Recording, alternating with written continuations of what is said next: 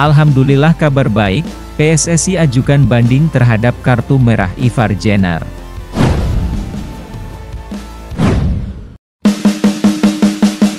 PSSI memastikan mengajukan banding atas kartu merah Ivar Jenner.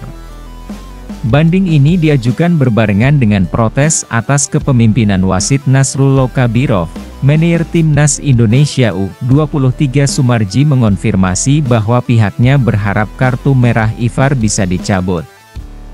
Ivar diusir wasit saat memperkuat Timnas U23 kontra Qatar pada matchday pertama Piala Asia U23 2024.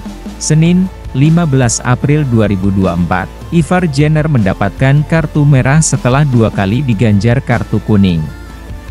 Dua kartu kuning itu sendiri diberikan wasit, meskipun tingkat pelanggarannya bisa diperdebatkan, kartu kuning pertama didapat Ivar pada menit ke-14 setelah melakukan duel yang sebenarnya tidak berbahaya dan bahkan bisa dibilang 50-50.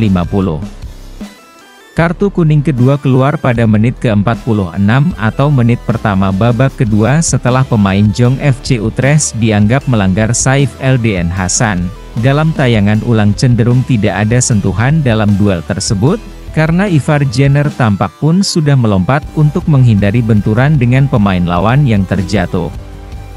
Di SIS lain, pemain Qatar yakni Saif justru tampak sampai meringis kesakitan bagaikan terkena Ivar. Ya ini salah satu poinnya.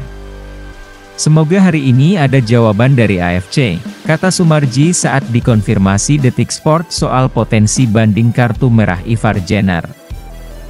Timnas Indonesia U23 melalui manajer tim Endri Erawan resmi melayangkan protes ke Konfederasi Sepak Bola Asia, AFC, atas kepemimpinan wasit pada laga yang berakhir dengan kekalahan 0-2 merah putih dari Qatar pada partai pembuka grup A Piala Asia U23 2024 Qatar di Stadion Jasim bin Hamad, Senin 15 April lalu.